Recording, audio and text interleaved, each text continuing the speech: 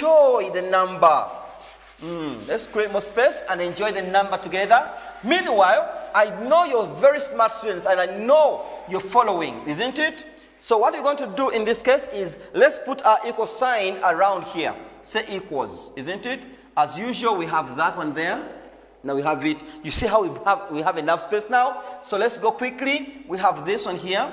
We have, uh-huh, we shall remain with our tan x. We have already done this one here, plus tan y, isn't it? And this is plus, we have tan what? Tan z into 1 minus tan x tan y, isn't it? And then we divided this one by what? The whole of this one by our denominator. Originally, in, we are in the numerator, remember, and that numerator was 1 minus tan x. Are you writing? Tan y.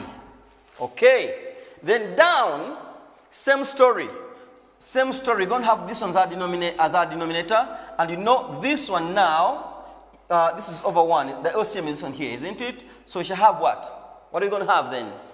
Mm-hmm. We're going to say 1 minus, 1 minus tan x tan y goes into 1. 1 this time. Is it, this time that's going to be, it's going to be, uh-huh, we're going to have 1 minus tan x tan y. Hope you're paying attention. Don't say, oh, but the teacher is boring us and all that. No, if you don't get it, let me know so I can help you really pick it. Uh huh. And then we have a minus. 1 minus tan, our, our, our, our, we're going to divide by, this is our LCM, is it? Goes into itself once.